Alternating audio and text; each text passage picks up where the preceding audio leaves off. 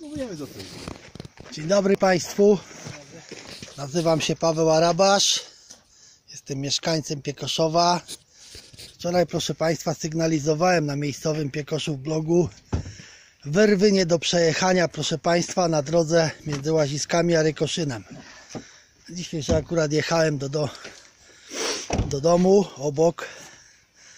Proszę Państwa, no, no po prostu sfilmuję Wam efekt tego dziadostwa gminnego, proszę Państwa, zaniedbań, jakie mamy miejsce, proszę Państwa, w naszej gminie. Wiecie co?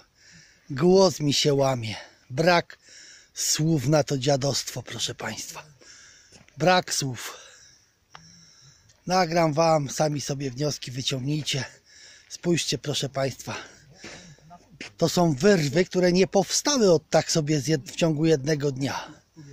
To są wyrwy, proszę Państwa, które trwały, powstawały przez jakiś dłuższy czas. No i mamy, proszę Państwa, efekt. Chłopak po prostu nie był w stanie przejechać, próbował uciekać. Tu po bokach drogi, proszę Państwa, to jest, to jest bagno. No i zagrzebał się. Nie wiem, co to za pan tu podjechał, ale prawdopodobnie no, będzie chciał chyba wyciągnąć. Spójrzcie Państwo, jak terenowy samochód musi tu walczyć, żeby jako tako przez tą drogę przejechać.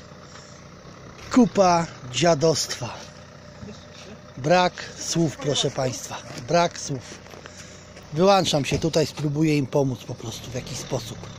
Na tyle, ile będzie to możliwe.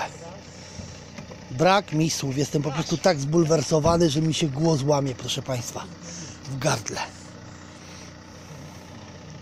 Do widzenia Państwu.